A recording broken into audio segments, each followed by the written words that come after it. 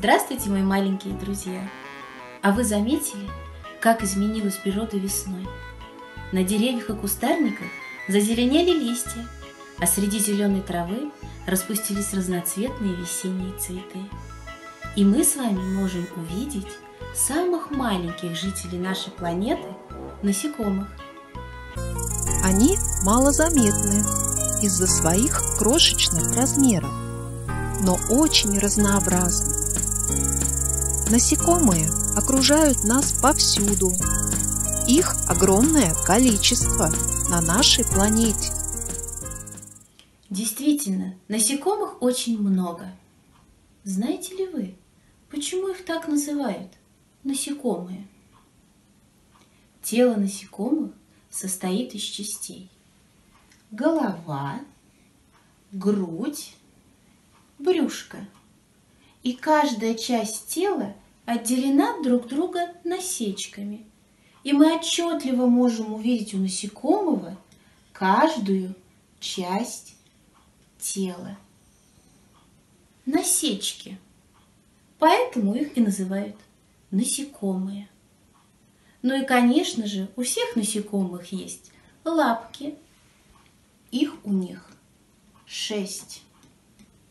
У некоторых есть крылья и усики. Насекомые – самые многочисленные жители нашей планеты. Они бывают разные. Они отличаются друг от друга по величине, по форме тела и по цвету. Обитают они не только на Земле, но и прекрасно себя чувствуют и в воздухе, и в воде, и под землей. А каких насекомых знаете вы? Божью коровку легко узнать по красивому окрасу. Пчела – это удивительное насекомое. Пчелы живут и работают большими семьями. Они все вместе запасают мед, которым щедро делятся с людьми. Комар – насекомое серого цвета с двумя крыльями. На нашей планете обитает более двух тысяч видов комаров. На голове у комара есть хоботок, которым он протыкает кожу и пускает внутрь ядовитую слюну. Вот почему кожа после укуса чешется. Попробуйте отгадать загадку. У нее четыре крыла. Тело тонкое, словно стрела, и большие-большие глаза. Называют ее? Конечно же, это стрекоза.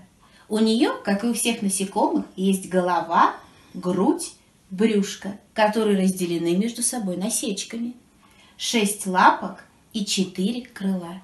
Стрекозы – одни из самых красивых насекомых. Их можно увидеть солнечным летним днем над водой. Они бывают разных цветов – синие, зеленые, красные. Стрекоза очень быстро летает и постоянно охотится. Она питается мелкими насекомыми. За час стрекоза может съесть 40 мух.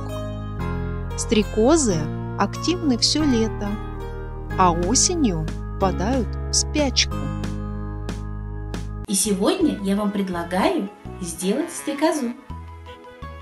Для этого нам понадобится доска для лепки, целый кусок пластилина любого цвета, маленький кусок черного пластилина, стека, простой карандаш, ножницы, зубочистки, небольшой кусок фольги.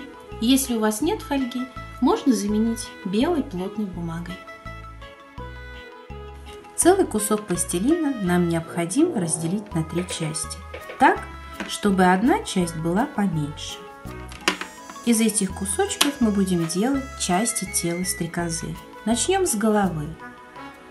Голову мы будем делать круглой формы, поэтому круговыми движениями скатываем шарик.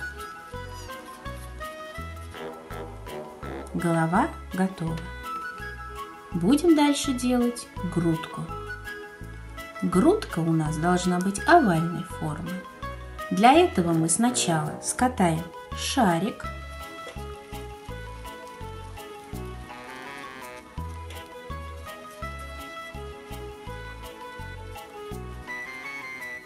А потом прямыми движениями придадим ему овальную форму.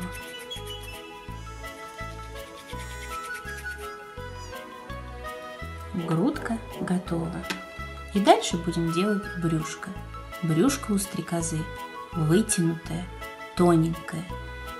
И будем мы с вами раскатывать ладонями колбаску. Тоненькую и длинную.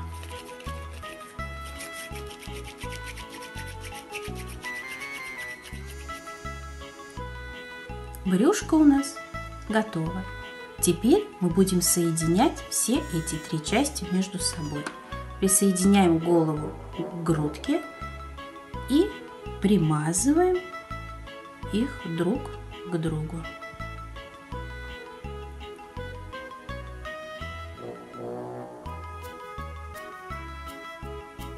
Дальше присоединяем брюшко и также примазываем.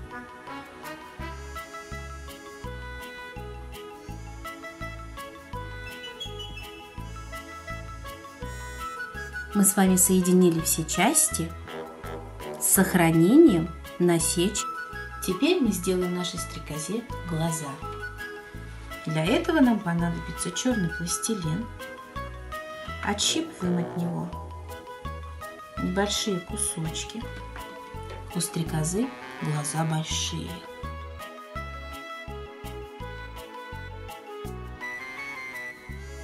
Мы скатываем в шарик. Прикладываем его к одной стороне, расплющиваем его и размазываем. Делаем большие глаза нашей стрекозе.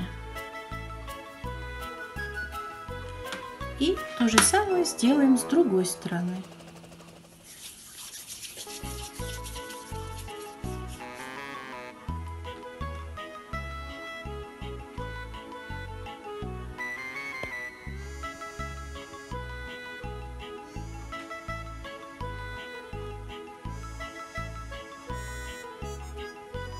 Глаза у нашей стрекозы готовы. Нашей стрекозе необходимо сделать лапки. Вы помните, сколько у насекомых лапок? Правильно, 6. И для этого мы возьмем зубочистки. Одну зубочистку разламываем пополам и каждую половинку разламываем еще раз пополам. И у нас получилось 4 лапки. Нам еще не хватает, правильно, двух лапок. Для этого мы берем вторую зубочистку и делаем еще две недостающие лапки. Теперь у нас их шесть. И теперь мы их будем присоединять к грудке стрекозы. С одной стороны три лапки,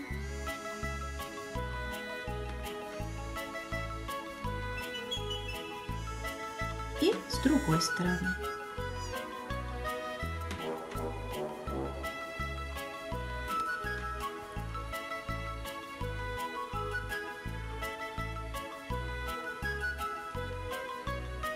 Если у вас нет зубочисток, можно лапки сделать из пластилина. Ну-ка напомните мне, а сколько у стрекозы крыльев? Действительно, у нее четыре крыла. И делать мы их будем из фольги. Для этого мы на фольге нарисуем простым карандашом 4 крыла, два побольше и два поменьше. Делать это надо очень аккуратно, так как фольга, так же как и крылья нашей стрекозы, хрупкая и очень ее легко повредить острым карандашом.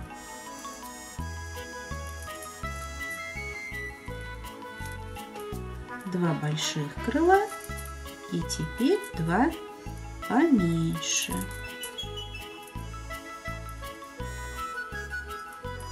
крылья рисуем в виде вытянутой капельки. И теперь мы их с вами будем вырезать. Делать это надо очень аккуратно, чтобы не разорвать фольгу.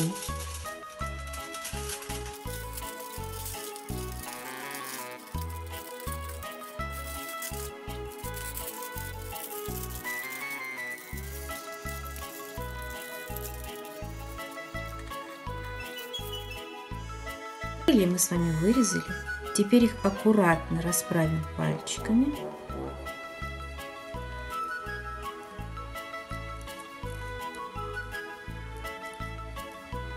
И при помощи карандаша на них можно прорисовать прожилки на крыльях стрекозы.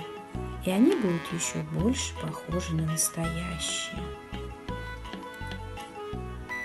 Делаем это очень аккуратно, чтобы не повредить крылышко.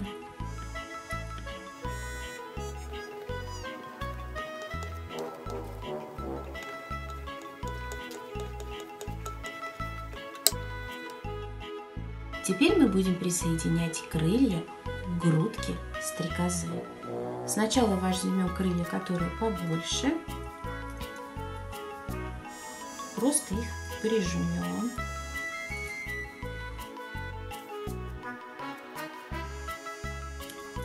Затем крылья, которые поменьше.